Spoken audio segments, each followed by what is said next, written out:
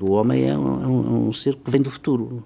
Vem do futuro, em função do que ele projeta no futuro para, para poder realizar isto e aquilo. O grupo Seara Nova não lisonjeará nenhuma classe da sociedade.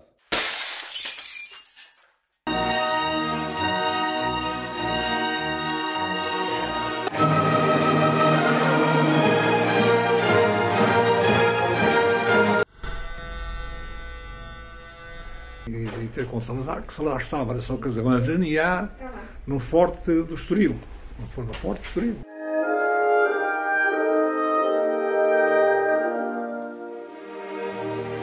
Ele encontrou a vocação. E o que é a vocação? A vocação é algo que o homem encontra, que lhe permite realizar-se e realizar-se, sobretudo, eh, através de um trabalho eh, de doação, de dedicação aos outros, de promoção eh, da comunidade.